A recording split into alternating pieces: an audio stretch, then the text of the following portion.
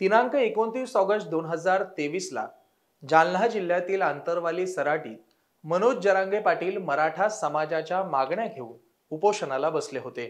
त्यापूर्वी मराठा समाजाने आपल्या मागण्यांसाठी शांततेत एक्कावन्न मोर्चे काढले.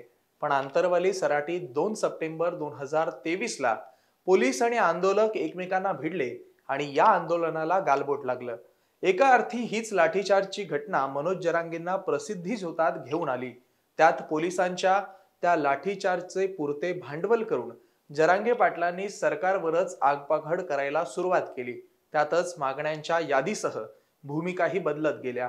पण गेल्या काही दिवसांपासून जरांगेंनी राजकीय भूमिका घ्यायला सुरुवात केली आणि हे आंदोलन राजकीय हेतूनं प्रेरित असल्याचा संशय अनेकांनी घेतला. मग जरांगे पाटलांनी केलेली विधानं पाहता नक्की ते कोणाची स्क्रिप्ट वाचतायत हा प्रश्न सर्वच स्तरातून विचारला जातोय. त्यातच आता अहिंसक मार्गांनी सुरू झालेल्या मराठा आंदोलनाला हिंसक वळण लागलं. आंदोलनाचं नेतृत्व करणाऱ्या जरांगेंच्या तोंडी माझ्यावर गोळ्या झाडा माझा बळी घ्या अशी आत्मघातकी भाषा आली. उपमुख्यमंत्री देवेंद्र फडणवीसांविरोधात त्यांनी केलेली जातीयवादी अश्लाघ्य शेरेबाजी ही त्याहून दुर्दैवी. त्यामुळे मराठा आंदोलन आणि मराठ्यांचे प्रश्न बाजूला राहिले आणि जरांगे पाटलांवर एस आय टी चौकशीचे आदेश विधानसभेत निघाले. सरकार सर्व स्तरातून चर्चेसाठी तयार असताना मराठा समाजाचे आंदोलन करते. मनोज जरांगेंनी आंदोलन कुठे आणून ठेवलंय? या मागे नेमकं तथ्य काय? हे आज आपण जाणून घेणार आहोत. नमस्कार मी सुप्रीम मस्कर आणि कॅमेऱ्यावर आहेत आलेख चाळके. माझ्या मागण्या मान्य करा अन्यथा आमरण उपोषण असं सांगत जरांगे पाटलांनी सरकारवर दबाव आणला. त्यांची आणि मराठा समाजाची मागणी लक्षात घेता महायुती सरकारने जरांगेंच्या मागण्या मान्य केल्या. कुणबी नोंदी शोधण्यासाठी संपूर्ण शासकीय यंत्रणा कामावर जुंकली नंतर सगळे सोयरे या शब्दाचा हा अंतर्भाव करून प्रारूप अधिसूचनाही सरकारने जारी केली. एवढ्यावरही न थांबता मागासवर्ग आयोगाच्या माध्यमातून मराठा समाजाचे सर्वेक्षणही पूर्ण करण्यात आले. तो अहवाल सभागृहाच्या पटलावर मांडून सरकारने मराठा समाजाला शैक्षणिक संस्था आणि नोकऱ्यांमध्ये दहा टक्के आरक्षण देण्याचीही घोषणा केली. पण तरीही मी सांगतो तसंच त्याच पद्धतीनं मराठा समाजाला आरक्षण मिळालं पाहिजे हा अट्टहास जरांगेंनी सोडला नाही. त्यातच दिनांक पंचवीस फेब्रुवारी दोन हजार चोवीस रोजी जरांगेंनी राज्याचे उपमुख्यमंत्री आणि गृहमंत्री देवेंद्र फडणवीस यांच्यावर खालच्या पातळीवर जाऊन टीका केली ज्यामुळे राजकीय हेतूनं आंदोलन प्रेरित असल्याचा आरोप जरांगेंवर झाला. याबद्दल स्वतः देवेंद्र फडणवीस म्हणाले की मनोज जरांगे पाटील यांच्याशी माझं देणं घेणं नाही.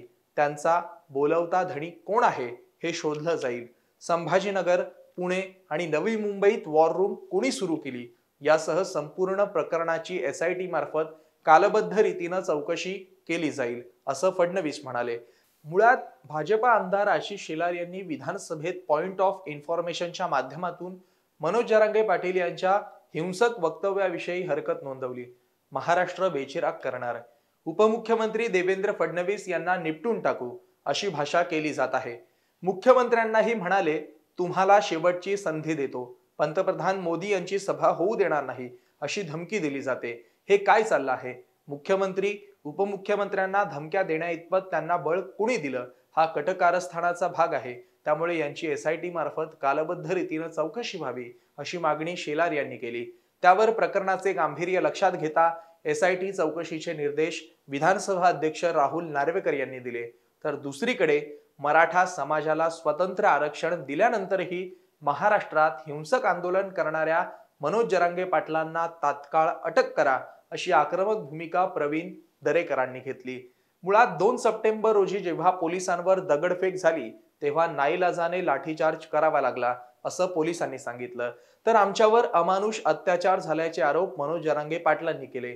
यानंतर झालेल्या चौकशीत पोलिसांनी संशयितांना ताब्यात घेतलं. ज्यातील एक आरोपी हा स्थानिक आमदार राजेश टोपे यांचा निकटवर्ती असल्याचा दावा छगन भुजबळ यांनी केला. त्यामुळे दगडफेकीचे राजकीय कनेक्शन काय असाही प्रश्न अनेकांना पडला.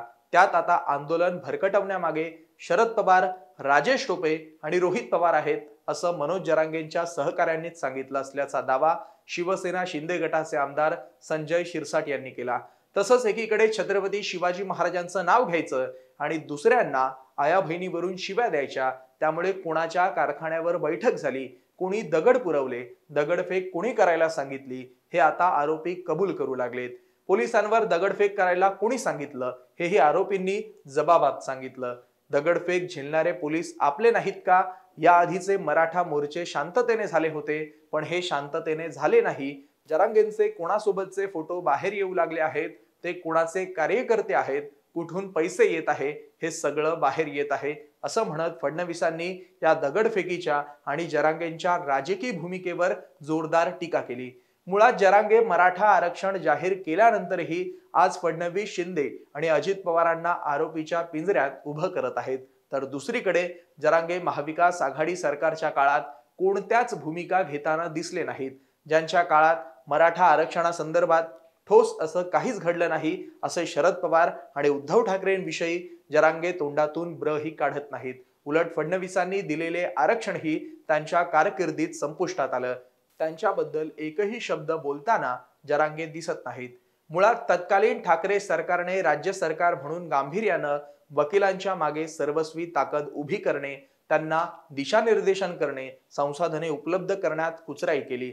त्यांच्या या चालढकलपणामुळेच सर्वोच्च न्यायालयात मराठा आरक्षण टिकू शकलं नाही. पण ठाकरेंच्या अडीच वर्षाच्या मुख्यमंत्री पदाच्या कार्यकाळाबद्दल मात्र जरांगे जराही बोलू इच्छित नाहीत असं का असा मोठा प्रश्न आहे. पण या उलट मराठा समाजासाठी सारथीपासून ते अण्णासाहेब पाटील आर्थिक मागास विकास महामंडळापर्यंत नोकरी शिक्षण उद्योगधंद्यांसाठी कर्जसाह्य अशा सर्वच बाबतीत सक्षम धोरणे राबवणाऱ्या फडणवीसांविरोधात जरांगे जातीय द्वेषाची गरळ ओकत आहेत. याच सारथीच्या माध्यमातून मराठा समाजातील कित्येक गोरगरीब विद्यार्थ्यांची सरकारी परीक्षा कोचिंग आणि दिल्ली सारख्या ठिकाणी राहण्याची सोय झाली. कित्येक मराठा तरुणांना सरकारी नोकऱ्याही मिळाल्या. अण्णासाहेब पाटील महामंडळामुळे तर साठ हजारहून अधिक मराठा तरुणांना चार हजार आठशे कोटीपेक्षा अधिकचे कर्ज वाटप करण्यात आले.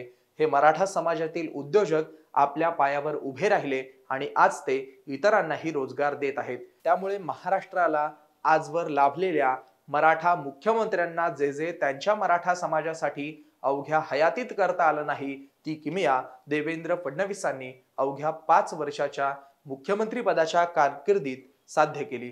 पण वेळोवेळी त्यांच्या जातीचा उद्धार करून ते मराठा विरोधी असल्याचं चित्र पद्धतशीरपणे रंगवलं जातं हे दुर्दैवी आहे. त्या जरांगेची भूमिका म्हणजे संपूर्ण मराठा समाजाची भूमिका असे वातावरण निर्माण झालं. यातून मराठा आरक्षणाच्या आंदोलनाला किती लाभ होणार? त्या जरांगेंचे सहकारीच त्यांच्यावर टीका करत आहेत ज्यामुळे मराठा आंदोलनावर एक प्रकारे आरोप होऊ लागलेत. त्यामुळे जरांगेंची भूमिका का बदलली? त्यांना कुणाचा राजकीय पाठिंबा आहे? हे एस आय टी चौकशीतून उघड होईल. पण या चौकशीमुळे जरांगेंच्या अडचणी वाढतील का हे येणारा काळच ठरवेल. पण तत्पूर्वी जरांगे घेत असलेल्या राजकीय भूमिकांबद्दल तुम्हाला काय वाटतं ते कमेंट करून आम्हाला नक्की सांगा. असेच माहितीपूर्ण व्हिडिओ पाहण्यासाठी महाएम टीव्हीच्या यूट्यूब चॅनलला सबस्क्राईब करा आणि फेसबुक पेजला लाईक करा. धन्यवाद.